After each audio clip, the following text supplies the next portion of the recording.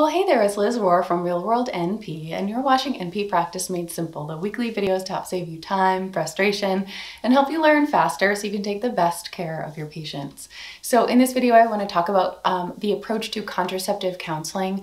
I've made a couple of different videos so far, one about IUD, Nexplanon, and oral contraceptives specifically, but in this video, I want to focus on the approach to the contraceptive counseling conversation and a couple of highlights of pearls of practice, as well as a couple of different resources to investigate. This is like a real pet peeve or like important issue to my heart because I think that it really frustrates me when I see primary care providers feeling really uncomfortable with the situation to the point of disregarding it. So I don't know if it comes from the disregard or if it comes from the discomfort and lack of knowledge.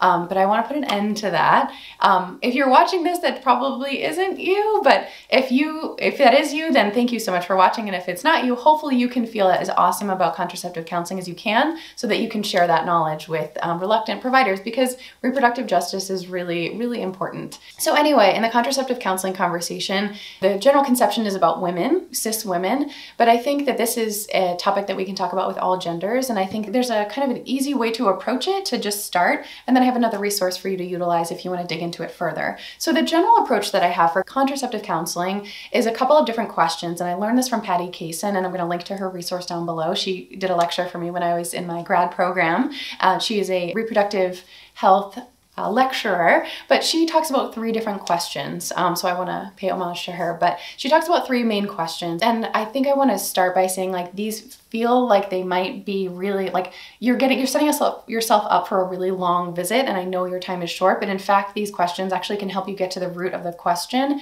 and the issue much faster. Um, so the main thing is to start with is, you know, do you plan on having children? And you can ask anybody this, right? Um, do you plan on having children? And do you have a time, a time in mind of when you might like to do that? Yes, if that answer is yes. And then the third question is how important is, is it for you to wait until that time uh, for that to happen?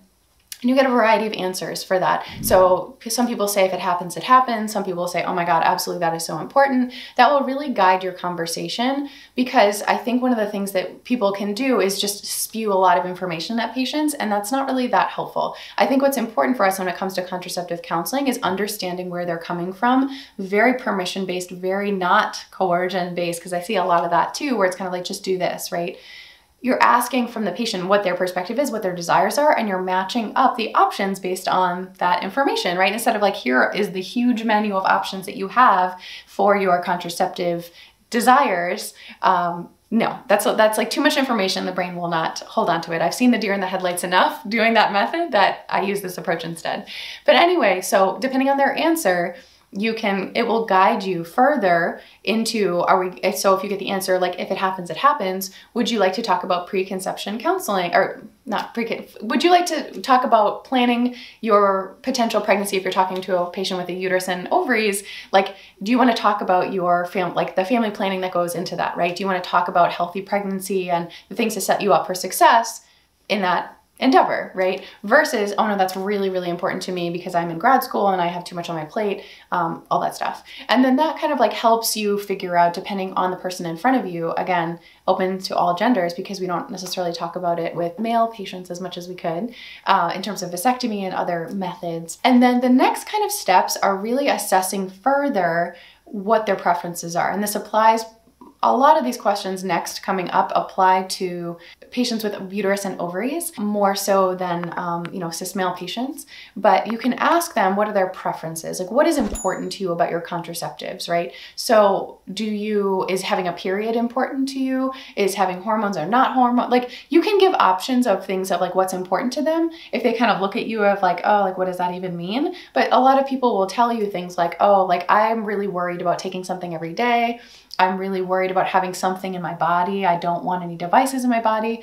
Um, so they can typically volunteer that, but those are potential options of things to talk about. So um, you know, for example, some people uh, want a method that is really effective. Some people want a method that they can conceal from either their parents or their partner or et cetera, et cetera, that gives them full freedom. Some people are really concerned about having a device in their body, a foreign object in their body. Some people are worried about their risk for fertility in the future. And that brings up further questions and concerns that people have and their desires, right?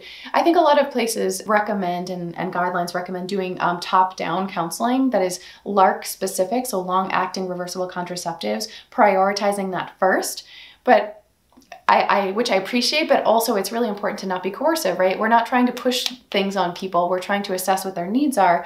And if we're, and it is a wise idea to lead with the most effective options. However, it all has to match together, right?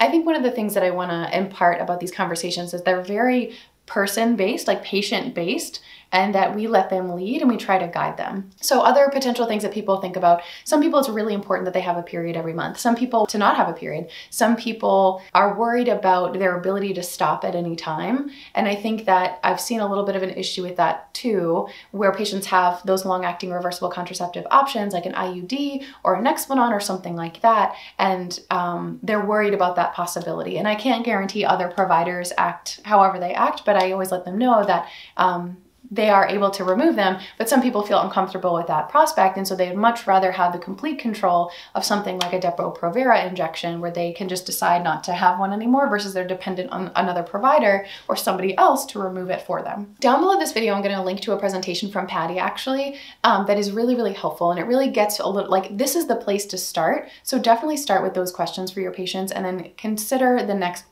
steps involved. So I think the other like main highlights that she gets into that are really helpful is um, how to have patient conversations like in a counseling way that is open-ended, as well as some frameworks to use about how to give information, as well as how to address concerns that patients have. Also things that they've like found online that may or may not be evidence-based and how to have those conversations in a way that is very supportive and keeps the flow of conversation there so that you are empowering a patient and you're not shutting down the conversation or it doesn't feel like it's coercion of any kind or negation of any kind. Like it's a little bit delicate. Anyway, hopefully that hopefully that presentation is really helpful, but hopefully this also gives you a way to start that conversation comfortably.